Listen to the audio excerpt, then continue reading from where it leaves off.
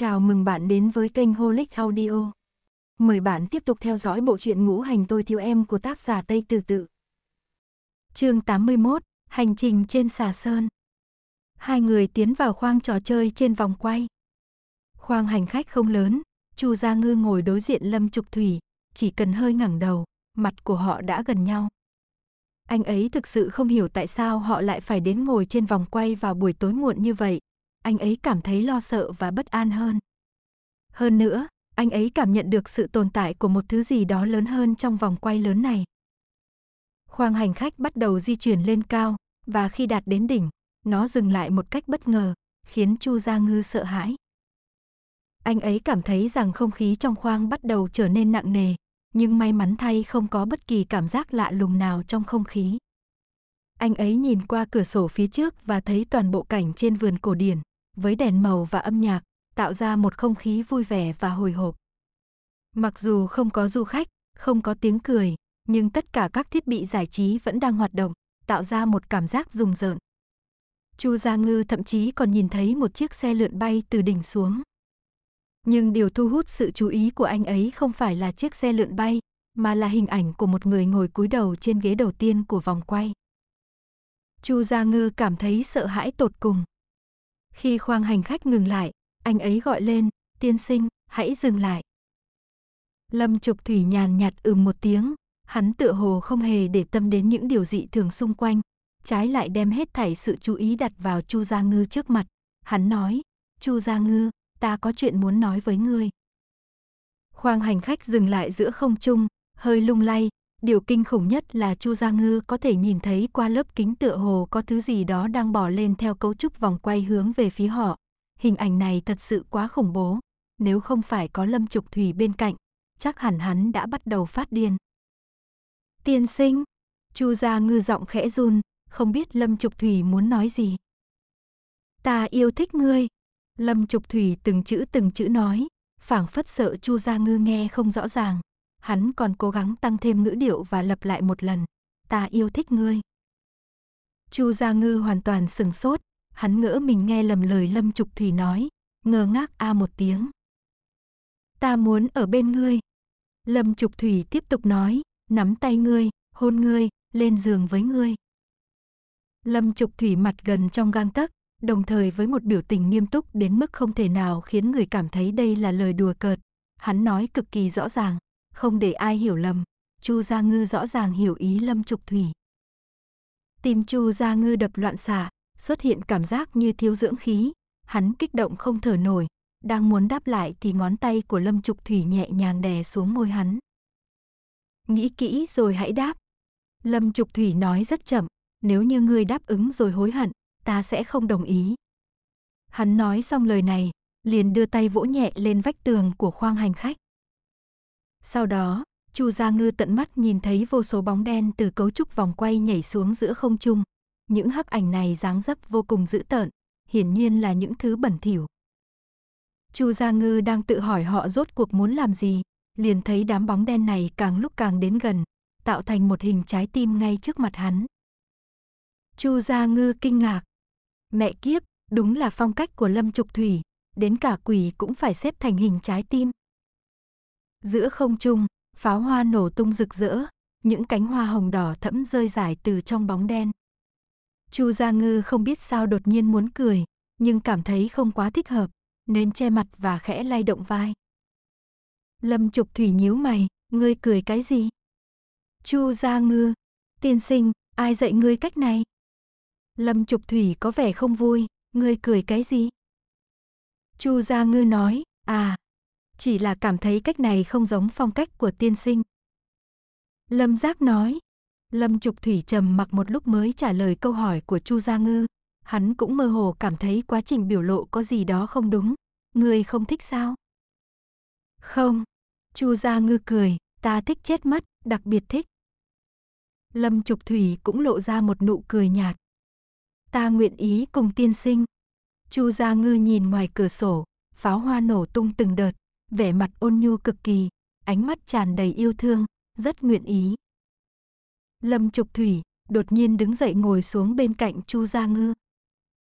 Chu Gia Ngư đang suy nghĩ hắn định làm gì, liền thấy hắn hơi nghiêng đầu, đưa môi trực tiếp áp lên môi hắn. Sau đó là một nụ hôn triền miên đến cực điểm.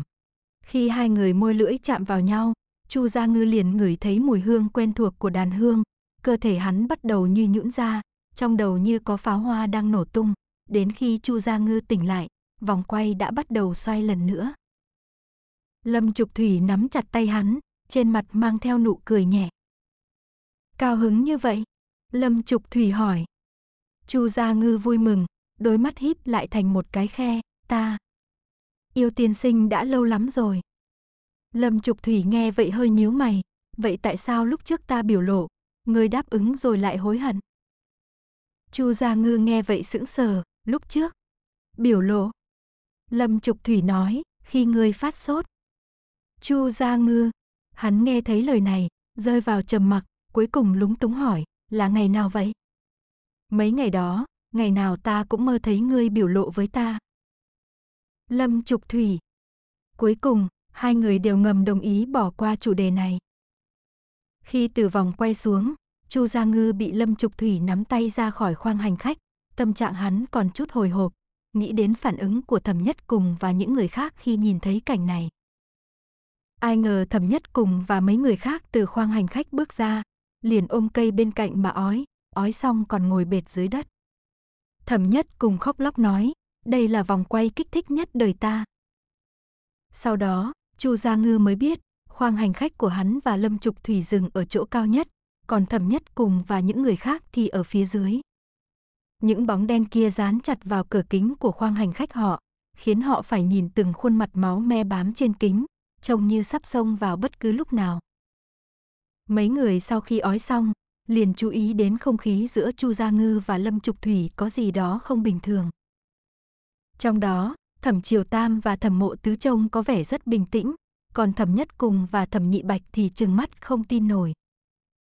Lâm Trục Thủy từ đầu đến cuối vẫn rất bình tĩnh, chờ họ ói xong liền nói, ta và Chu Gia Ngư đang ở cùng một chỗ. Sau đó bổ sung thêm, theo kiểu tình nhân. Xem ra hắn không quên bổ sung cho rõ ràng, dù trời đã tối muộn. Thẩm nhất cùng run rẩy, nửa ngày mới nghẹn ra một câu, chúc mừng. Thẩm nhị bạch cũng nói lời chúc mừng.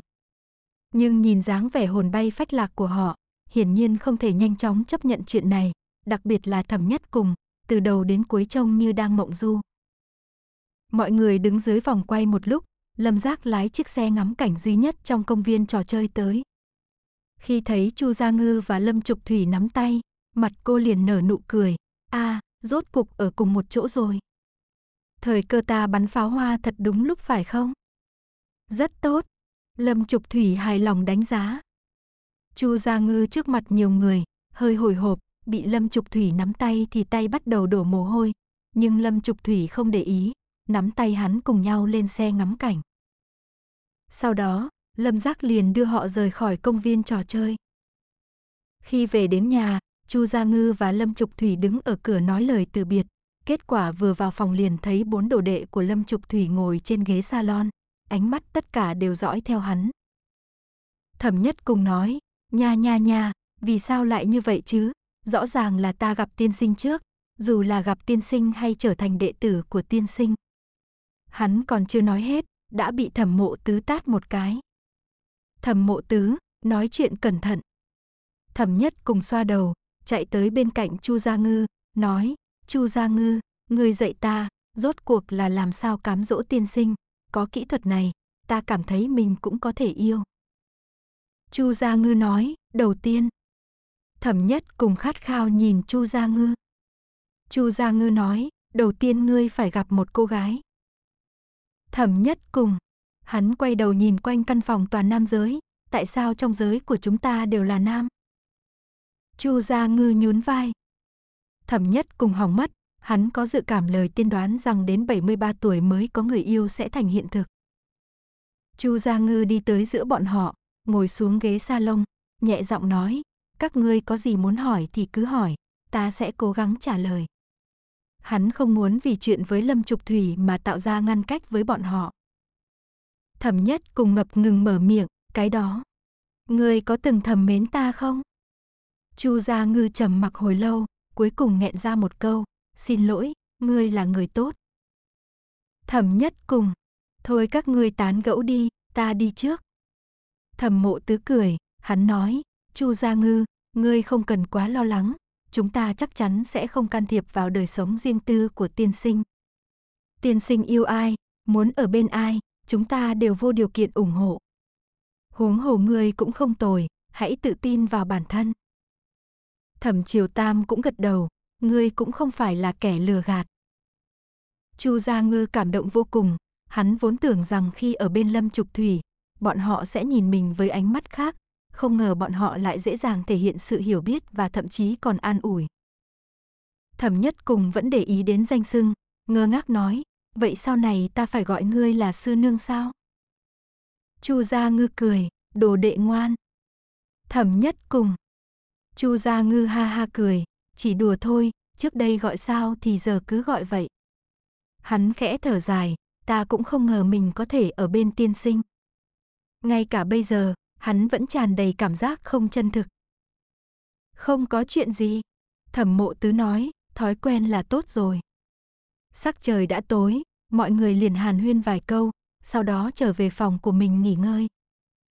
Chu Gia Ngư tắm xong, nằm trên giường mới chợt nhớ ra điều gì đó, kêu lên, tế bát, tế bát ngươi còn ở đó không? Tế bát chậm rãi từ mai rùa thò đầu ra, cái gì? Chu Gia Ngư hơi ngại ngùng, xin lỗi, trước đây ta nên tin ngươi, tiên sinh thật sự đã tỏ tình với ta.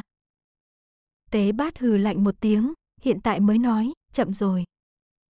Chu Gia Ngư liền dỗ dành nó, mãi mới làm cho tế bát từ trong mai rùa ra ngoài. Tuy nhiên, cánh của nó vẫn bị trụi một chỗ, có vẻ là do áp lực quá lớn khiến nó dùng mỏ mổ vào. Chu Gia Ngư nhìn thấy rất áy náy, hỏi Tế Bát có gì có thể bồi thường. Tế Bát với vẻ mặt tang thương như lão phụ thân nhìn con, nói nó không cầu quá nhiều, chỉ mong Chu Gia Ngư và Lâm Trục Thủy hạnh phúc.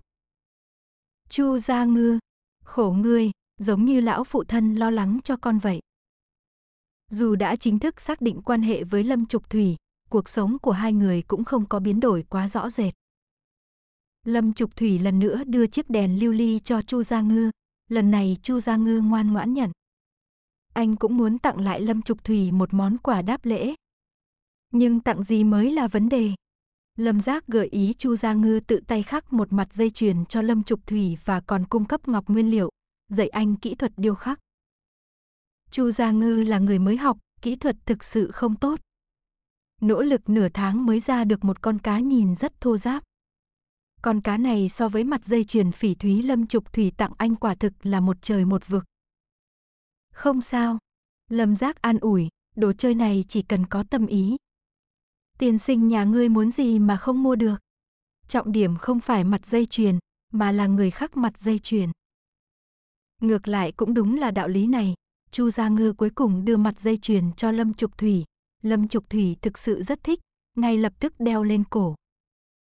Vì vậy, ngày hôm sau trong phòng mùi thức ăn cho chó càng thêm nồng nặc, năm cái cẩu độc thân nhìn Chu Gia Ngư và Lâm Trục Thủy với mặt dây chuyền tình nhân, cảm nhận sâu sắc sự ác ý của thế giới.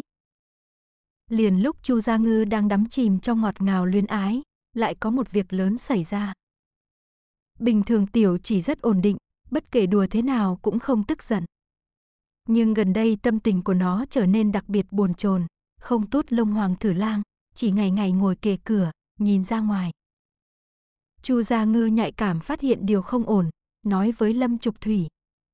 Lâm Trục Thủy vừa nghe liền nhíu mày, nói, có thể là xà sơn từ thị đã xảy ra vấn đề rồi.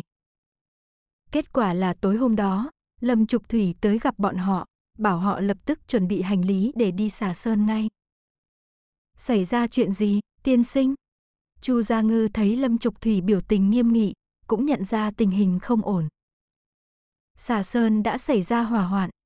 Lâm Trục Thủy nói, bên đó nói không liên lạc được với từ thị bọn họ. Chu Gia Ngư nghe vậy hoảng sợ, dựa vào phản ứng của tiểu chỉ và thông tin từ Lâm Trục Thủy, rõ ràng tình hình ở Xà Sơn từ thị không lạc quan, họ hẳn đã gặp chuyện gì lớn mới không liên lạc được. Chu Gia Ngư cùng mọi người nhanh chóng chuẩn bị hành lý, đêm đó xuất phát ngay. Thời tiết bắt đầu vào đông, mấy ngày trước mới rơi một trận tuyết nhỏ, may mắn là nhiệt độ không quá thấp, không có tuyết lớn ngập núi làm tàu hỏa ngừng chạy, nếu không họ cũng không thể đi xà sơn. Chu Gia Ngư rất ít khi thấy vẻ mặt này của Lâm Trục Thủy, từ lúc chuẩn bị hành lý đến lúc lên xe, hầu như không nói một lời. Chu Gia Ngư có chút lo lắng, lại không biết nên an ủi thế nào. Cuối cùng, Lâm Trục Thủy dường như nhận ra sự bất an của Chu Gia Ngư, liền dùng ngón tay nhẹ nhàng vuốt lòng bàn tay Chu Gia Ngư, không sợ. Chu Gia Ngư trong lòng thấp thỏm nhưng như có kỳ tích, chỉ cần Lâm Trục Thủy ở đây, dường như không có chuyện gì là không giải quyết được. Vì sự việc rất gấp gáp, họ gần như xuất phát suốt đêm, nửa đêm đã lên tàu đi xà sơn. Lần này cả mấy đệ tử và Lâm Giác cũng đi cùng. Tiểu chỉ người trốn trong lòng Chu Gia Ngư, tâm trạng có vẻ không ổn định. Chu Gia Ngư vuốt đầu nó, an ủi rằng mọi chuyện sẽ ổn, tiểu chỉ lại nghẹn ngào nói không còn, cũng bị mất. Chu Gia Ngư trong lòng thở dài, ôm chặt nó. Tiểu chỉ dựa vào lòng Chu Gia Ngư, biểu hiện tràn đầy sự bi thương. Chu Gia Ngư nuôi tiểu chỉ gần một năm, đây là lần đầu tiên thấy nó buồn đến thế. Hắn không biết nói lời an ủi thế nào, chỉ có thể vuốt ve lưng nó, muốn làm nó dễ chịu hơn.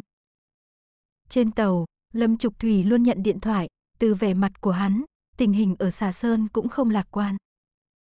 Lâm Giác hỏi bên kia tình hình thế nào, Lâm Trục Thủy nhẹ giọng thở dài, lửa đã tắt, nhưng tình hình của Từ thị không ổn, hơn nửa đều mất tích. Mất tích trong hỏa hoạn, tỷ lệ sống sót rất nhỏ. Lâm Giác đốt điếu thuốc, nói, đây là người cố ý phóng hỏa đi.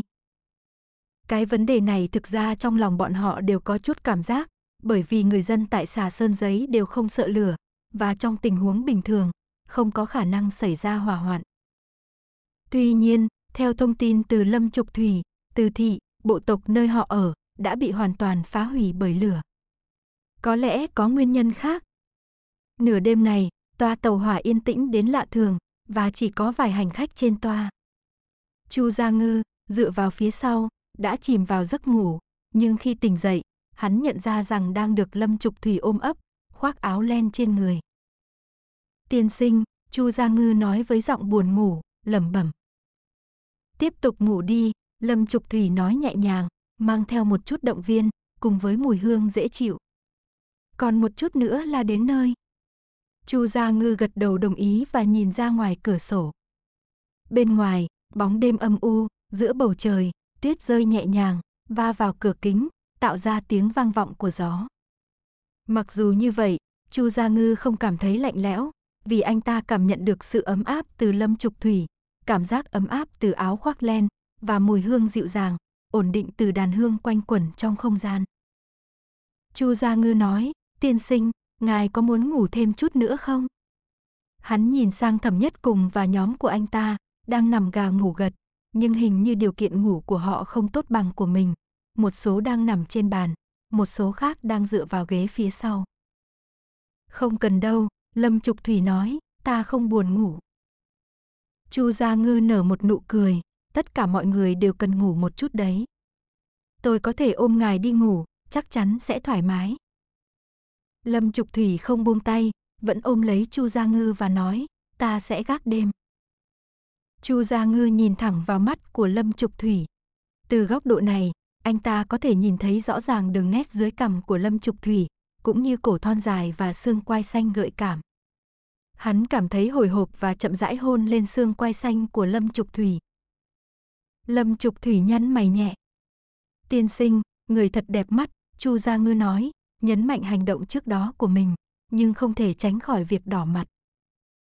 Lâm Trục Thủy không nói gì, nhưng đưa tay sờ một chút vào vành tai của Chu Gia Ngư, sau đó nói, người có phải mỗi lần thổ lộ tai sẽ đỏ lên không? Chu Gia Ngư, à, hắn cảm thấy không thoải mái với phản ứng của mình, nhưng không biết làm thế nào để kiểm soát. Rất đáng yêu, Lâm Trục Thủy cười nhẹ, Lâm Giác đã nói với tôi rồi, chỉ tiếc là tôi không thể nhìn thấy nó hàng ngày. Câu chuyện này khiến Chu Gia Ngư cảm thấy không thể giải thích được một cách đầy đủ, và có chút đau lòng. Anh thấy Lâm Trục Thủy rất đẹp đẽ, với đôi mắt và lông mi dài. Anh tiến gần và nhẹ nhàng hôn Lâm Trục Thủy. Khi môi nóng bỏng của anh chạm vào môi lạnh lẽo của Lâm Trục Thủy, không khí xung quanh trở nên càng ngày càng quyến rũ. Lâm Trục Thủy hầu như giật giật, tỏ ra ngột ngạt và tồn tại trong một trạng thái tâm trạng khó diễn tả. Cuối cùng, từ miệng hắn tràn ra một tiếng than thở tức giận, ngủ tiếp đi. Chu Gia Ngư gật đầu đồng ý và nhắm mắt lại, chìm vào giấc ngủ sâu. Mặc dù đã về sáng hơn 8 giờ khi Chu Gia Ngư tỉnh dậy, nhưng bên ngoài vẫn là bầu trời tối om om, phảng phất trạng vàng. Anh nhìn thấy Thẩm Nhất Cùng và nhóm của anh ta đã ăn điểm tâm. Mặc dù được gọi là điểm tâm, nhưng thực tế chỉ là nước sôi để nấu mì. Dĩ nhiên, Lâm Trục Thủy như thường lệ không quan tâm đến những món ăn như vậy. Chu Gia Ngư ăn mì sau khi tỉnh dậy. Anh hỏi khi nào sẽ tiếp tục hành trình. Buổi trưa đi, Lâm Giác trả lời, mũi hắn đỏ hồng và khịt khịt. Chỗ này còn xa. Cô hai đã đi qua xà sơn trước đây chưa? Chu Gia Ngư hỏi với chút hiếu kỳ. Lâm Giác cười, chắc chắn là có. Năm đó, tôi đã đi qua nhiều nơi trong khu vực, và xà sơn là một trong số đó. Người giấy tại xà sơn có danh tiếng khá lớn, chúng ta nên ghé thăm nếu có cơ hội. Trong khi nói, anh nhìn ra cửa sổ, ngắm nhìn những ngọn núi và cây cối ngoài kia, trong khi vẻ mặt của anh truyền tải một loại sự bí ẩn. Chu Gia Ngư cảm thấy có thể đoán ra rằng có một người khác đã thay thế Lâm Giác khi anh ta đi qua xà sơn. Nhưng đáng tiếc, dù thăm lại nơi xưa, anh không gặp được người đó. Thẩm Nhất Cùng vẫn cảm thấy có vẻ khó chịu, với dấu hiệu của một cảm mạo. Không chỉ có mũi hắn đỏ và khan tiếng, mà cả cử chỉ và diện mạo của anh cũng trở nên uể oải và tự ái. Nhất Cùng, anh đã uống thuốc chưa? Thẩm Mộ Tứ nhìn thấy dấu hiệu lo lắng trên gương mặt của Thẩm Nhất Cùng. Thẩm Nhất Cùng nói với giọng ồn ào, tôi đã uống rồi. Chắc chắn là do Chu Gia Ngư mà tôi bị nhiễm. Thẩm Mộ Tứ nói, người như Chu Gia Ngư có cảm mạo tốt, anh cảm thấy bị nhiễm bởi điều gì? Thẩm nhất cùng lầm bầm một chút, ha, không quan trọng. Chắc chắn là do mùi lạ từ mối quan hệ. Thẩm mộ tứ. Chu Gia Ngư ăn mì và nói, anh cũng có thể có mối quan hệ đó. Thẩm nhất cùng nói, quan hệ với ai? Ở đây chỉ có một sư bá thôi. Hắn rõ ràng muốn tránh xa lâm giác, và thậm chí lời nói của mình còn không ổn định. Ngươi không còn sư huynh nữa. Chu Gia Ngư bày tỏ với một nụ cười. Thẩm Nhất cùng nói, sư huynh. Thẩm Mộ Tứ nói, các ngươi đừng tán gẫu, ta đi trước. Anh ta nói rồi cầm nắm mì và bước đi, để lại Thẩm Nhất cùng đứng một mình với vẻ mặt bi thương.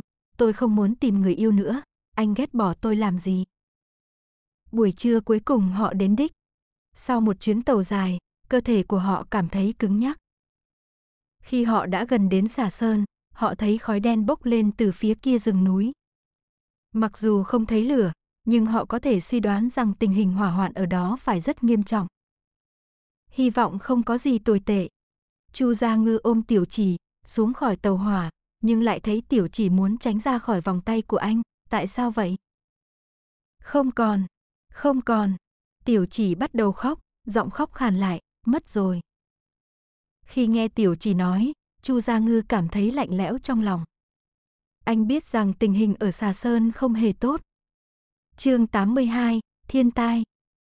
Mặc dù đã chuẩn bị tinh thần, nhưng khi nghe người dân trên trấn nói về tình hình ở Xà Sơn, Chu Gia Ngư vẫn cảm thấy rung động. Cư dân và quan chức ở Xà Sơn được biết đến với tên từ, đã trải qua những thời kỳ khó khăn. Mỗi khi có chuyện xảy ra, họ đều phải đối mặt với những tình huống khó khăn và đau lòng. Đêm hôm đó, mọi người trên trấn đều nghe thấy một âm thanh lớn.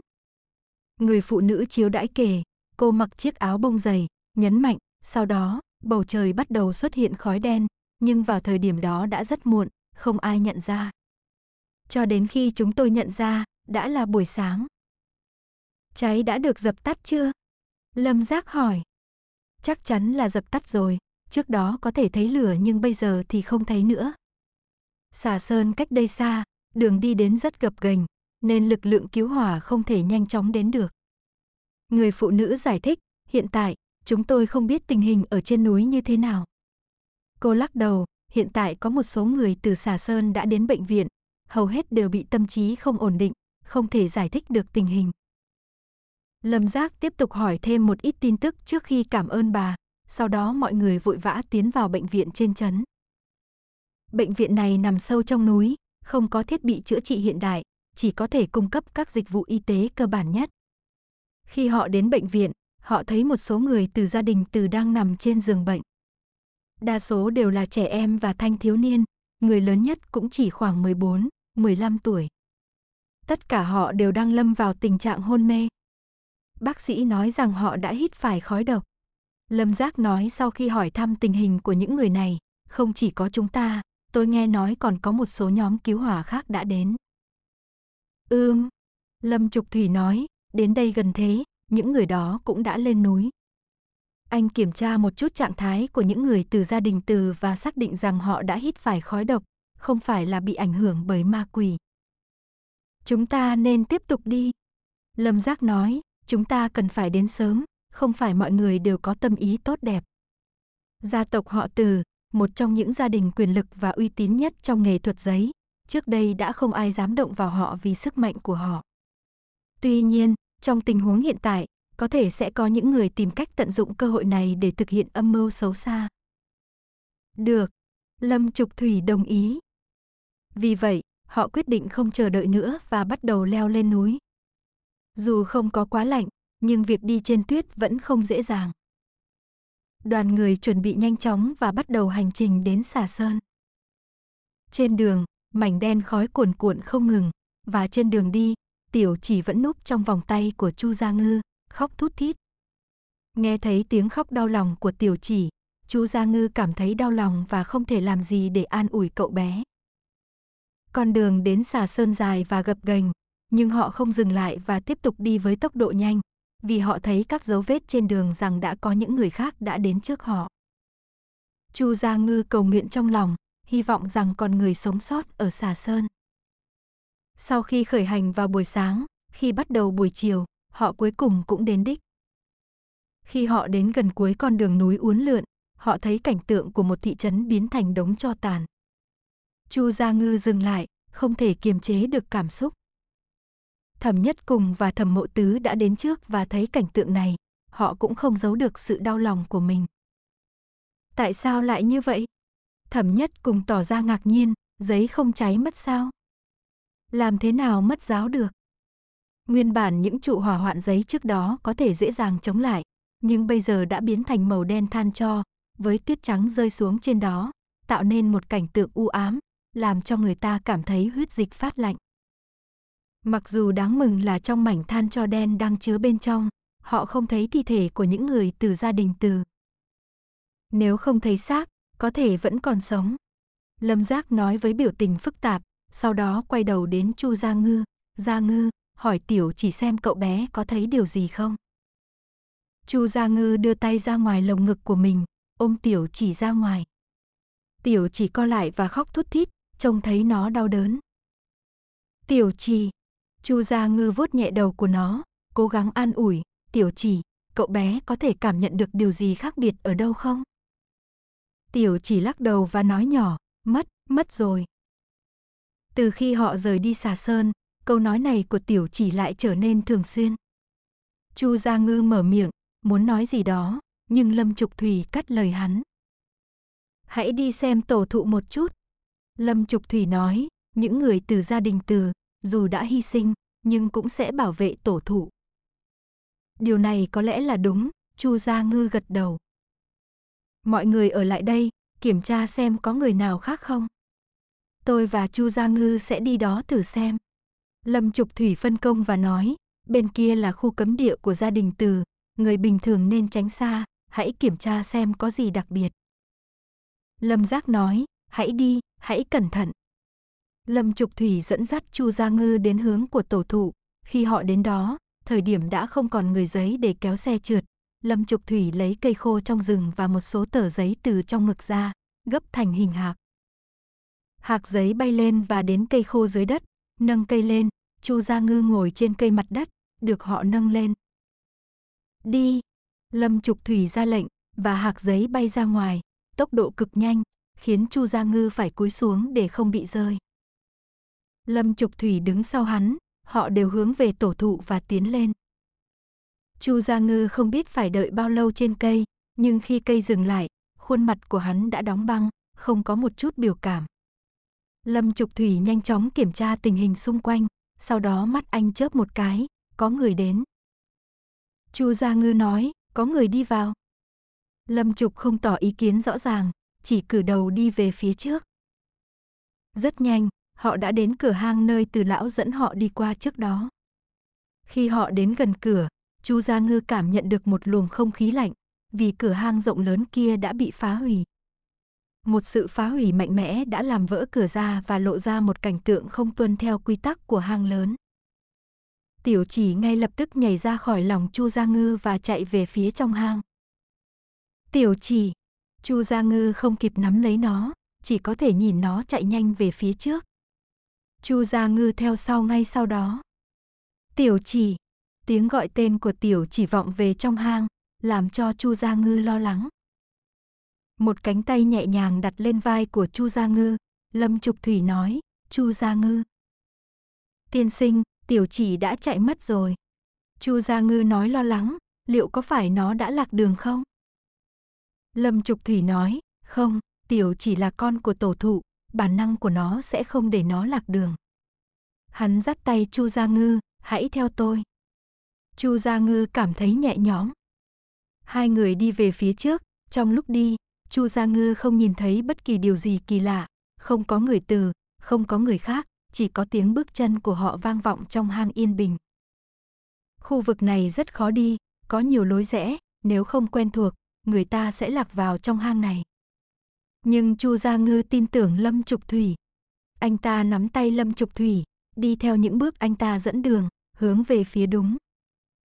Sau khoảng mười mấy phút, một khối đá to lớn quen thuộc tiến vào tầm nhìn của Chu Gia Ngư, khiến anh ta nhớ ngay đến nơi mà tổ thụ sinh sống. Tiểu chỉ, Chu Gia Ngư lại gọi tên của tiểu chỉ. Nhưng khi anh ta đi quanh khối đá, đến nơi mà tổ thụ trước đây nằm, anh ta không thể tin vào mắt mình.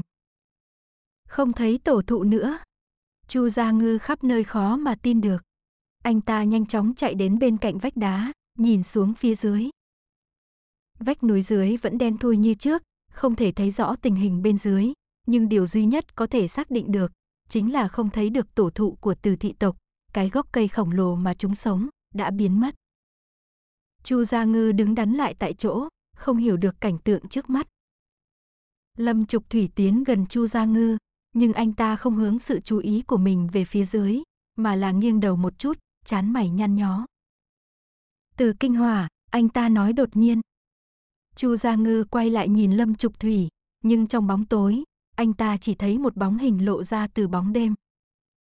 Từ kinh Hòa, tất cả điều này, có phải là do anh làm không? Anh đã đưa tổ thụ đi đâu? Và tiểu chỉ đâu rồi? Chu Gia Ngư nổi giận, và lần đầu tiên anh ta muốn lao vào đánh từ kinh hỏa. Nhưng từ kinh hỏa chỉ cười, cười đến mức khiến người ta đau lòng hơn cả tiếng khóc. Ta là từ kinh hỏa, từ từ thị người trở thành từ thị quỷ, mọi việc ta làm đều không phải là lỗi của từ thị. Lâm Trục Thủy nói, tôi tin anh. Chu Gia Ngư không thể tin rằng Lâm Trục Thủy đã nói điều này, anh ta muốn hỏi thêm, nhưng nghe Lâm Trục Thủy tiếp tục, nếu anh phản bội từ thị, sẽ không có cơ hội sống lại lần nữa. Vậy là, Chu Gia Ngư nhớ lại những gì Lâm Trục Thủy đã nói trước đó, nhưng anh ta đã quên đi một phần.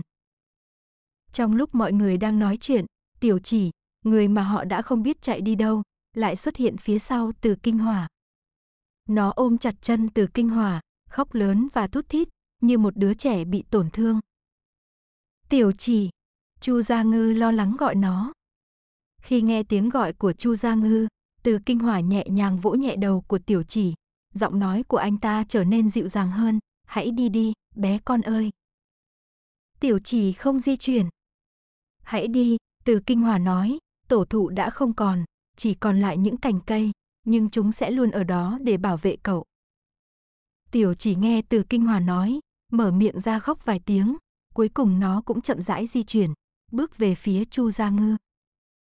Chu Gia Ngư mau chóng đến gần và ôm nó vào lòng, nói rằng mọi thứ sẽ ổn. Từ gia đã biến mất, từ kinh hòa nói, ta đã sớm liệu đến ngày đó. Ánh mắt của hắn đặt ở vực sâu không đáy, thế nhưng vận mệnh chính là như vậy, người biết nó sẽ xảy ra, nhưng không thể ngăn cản. Hắn cười, một nụ cười cay đắng, nhân định thắng thiên, thực sự là một chuyện cười. Lâm Trục Thủy nhíu mày, từ kinh hòa, ngươi đã gặp phải chuyện gì?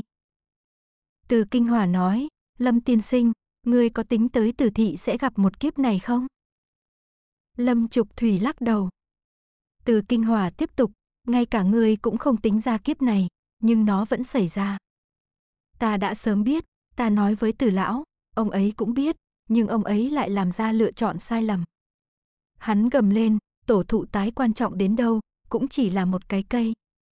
Không có người, tất cả đều mất hết. Dù từ thị không thể khống chế giấy nữa thì sao? Không có giấy, chúng ta sống không nổi nữa sao? Hắn run rẩy, rõ ràng đang rất kích động. Môi lửa đó từ đâu mà đến? Lâm Trục Thủy hỏi. Từ kinh hỏa đáp, thiên hàng chi hỏa, thiên diệt tổ thụ. Từ thị có thể chọn rời đi, nhưng họ không làm. Họ bảo vệ cái cây này, cuối cùng lại chết ở đây. Hắn tiếp tục, giọng điệu trầm tư, đúng vậy, đây là mệnh lý, là thiên đạo, không ai có thể tính ra được. Có thể những điều vốn không ai hiểu được về vận mệnh lại bị từ kinh hòa nắm rõ. Chu Gia Ngư nghe cuộc đối thoại giữa Từ Kinh Hòa và Lâm Trục Thủy, cảm giác có quá nhiều thông tin ẩn chứa, khiến đầu óc hắn rối loạn. Lâm Trục Thủy thở dài, Từ Kinh Hòa, đối với một số thị tộc, mất đi căn bản là mất đi tất cả.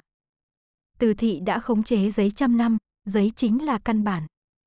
Hắn chỉ vào tiểu chỉ trong lòng Chu Gia Ngư, nếu ngươi thấy những người giấy này hóa thành than cho trước mặt ngươi, ngươi sẽ làm sao? Từ kinh hỏa biểu tình động lại, rồi đôi môi hắn khẽ động, là ta sai rồi. Hắn nhìn tiểu chỉ, rồi nhìn vực sâu trước mặt, khí tức cả người trở nên suy yếu, phảng phất như bị đả kích khổng lồ, đến mức mất đi cả dục vọng sống. Hỏa từ trời mà đến, đi vào tổ thụ, đốt từ thị. Từ kinh hỏa nói, nhân hỏa có thể miễn, thiên tai khó tránh, dù có cố gắng tìm cách chế ngự, giao nhân thân thể, âm linh chi khế, cũng không tránh được. Lâm Trục Thủy nhíu mày, dù là để giải cứu tử thị, người cũng đã dính quá nhiều mạng người. Ta biết, từ kinh hòa nói, ta biết, ta đã làm những gì cần làm và không nên làm, nhưng đều vô dụng. Hắn lấy ra một cái túi trong suốt từ đâu đó, bên trong toàn là màu đen của than cho, trông như giấy bị cháy thành cho. Người giấy của ta cũng mất rồi, từ kinh hòa nói, chúng đã theo ta 26 năm. Hắn chậm rãi cúi người, gắt gao ôm túi vào ngực, ta là người cuối cùng của từ thị. Lâm tiên sinh, ta có một chuyện muốn nhờ. Lâm Trục Thủy nói, ngươi nói đi. Từ Kinh Hòa nói, mời ngài, vì từ lão mà trông nom những tộc nhân còn lại của từ thị. Họ còn nhỏ, có thể dung nhập vào thế tục. Lâm Trục Thủy hỏi, ngươi muốn đi đâu? Từ Kinh Hòa không trả lời. Lâm Trục Thủy dường như muốn nói gì đó, nhưng từ sâu trong đường hầm lại vang lên tiếng bước chân chảy. Chu Gia Ngư nhìn về phía cửa động, thấy mấy người mặc đạo phục xuất hiện. Những người này khi nhìn thấy họ, cũng lộ vẻ kinh ngạc. Lâm tiên sinh, người đứng đầu, râu tóc bạc trắng, cầm phất trần trong tay, tiến lên chào hỏi. Trương đạo trường, Lâm Trục Thủy đáp lại, giọng có chút lạnh nhạt. Ngài hành động nhanh thật. Người được gọi là Trương đạo trưởng chậm rãi bước vào, cũng nhìn thấy Chu Gia Ngư, ngài có phát hiện gì không? Chu Gia Ngư quay đầu nhìn vị trí từ kinh hỏa đứng ban nãy, lại phát hiện hắn đã biến mất. Không có. Lâm Trục Thủy nói, đi thôi, Gia Ngư. Chu Gia Ngư đáp lại, đi theo sau Lâm Trục Thủy. Trương đạo nhân ánh mắt chuyển đến Chu Gia Ngư, thấy hắn ôm tiểu chỉ trong lòng, ánh mắt lập tức nóng lên, Lâm tiên sinh chắc đã tìm được cách khống chế giấy. Lâm Trục Thủy chỉ về phía vách đá sau lưng. Trương đạo nhân hỏi, Lâm tiên sinh có ý gì? Lâm Trục Thủy nói, nhảy xuống là tìm được.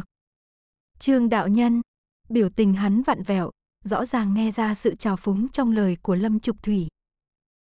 Lâm tiên sinh, Trương đạo nhân còn muốn nói gì đó, nhưng Lâm Trục Thủy đã dẫn Chu Gia Ngư đi ra ngoài. Dù lòng đầy bất mãn, hắn cũng không dám đối đầu với Lâm Trục Thủy, chỉ có thể phẫn nộ dặn các đệ tử kiểm tra xung quanh, xem có thể phát hiện manh mối gì liên quan đến việc khống chế giấy của Từ gia. Ra khỏi hang động, Chu Gia Ngư hỏi, "Tiên sinh, để lại những người kia ở trong đó không sao chứ? Ưm, Lâm Trục Thủy đáp, tổ thụ đã không còn, để họ tự lo liệu. Chu Gia Ngư hỏi tiếp, họ đến đây làm gì? Lâm Trục Thủy nói, mỗi khi có cổ tộc thế gia ngã xuống, luôn có những người như kên kên xoay quanh, muốn phân một phần. Những người này tuy rằng chán ghét, nhưng không thể tránh khỏi. Chu Gia Ngư nghe rõ, lập tức có ấn tượng xấu với những người kia. Lâm Trục Thủy dẫn Chu Gia Ngư ra khỏi hang động, tiến đến nơi dòng sông ngầm dưới lòng đất. Tại dòng sông này, Chu Gia Ngư thấy được thi thể của các tộc nhân từ thị. Đương nhiên, những thi thể này không nhiều, nhưng Chu Gia Ngư nhìn thấy thi thể của Từ lão, người đã tặng tiểu chỉ cho hắn. Tiểu chỉ thấy thi thể của Từ lão, liền nằm nhòi bên bờ sông gào khóc. Nó khóc rất thương tâm, nước mắt lớn từng giọt rơi xuống đất. Rời khỏi Từ thị, tiểu chỉ tuy được nuôi dưỡng bởi Chu Gia Ngư, nhưng vùng đất này vẫn là nơi căn nguyên của nó. Chu Gia Ngư chỉ biết ôm lấy tiểu chỉ, không nói gì. Hắn hiểu rằng lúc này, lời nói đều vô nghĩa. Lâm Trục Thủy lấy ra một tấm bùa, đốt lên và ném vào dòng sông. Lá bùa không tắt trong nước, mà cháy rực, thiêu hết các thi thể thành cho tàn. Chu Gia Ngư nhìn thấy những cho tàn không bị nước cuốn đi, mà từ từ chìm xuống đáy sông. Lâm Trục Thủy môi mím chặt, thần sắc nghiêm túc, cuối cùng gật đầu với nơi cho tàn chìm xuống. Đi thôi, Lâm Trục Thủy nói. Chu Gia Ngư đáp lại. Trên đường trở về, Chu Gia Ngư hỏi Lâm Trục Thủy về việc tổ thụ lớn như vậy, dù có gặp hỏa hoạn, cũng phải còn lại chút hài cốt. Lâm Trục Thủy nói khả năng này rất nhỏ, vì nếu còn lại cành cây, chắc chắn có người giấy còn sống.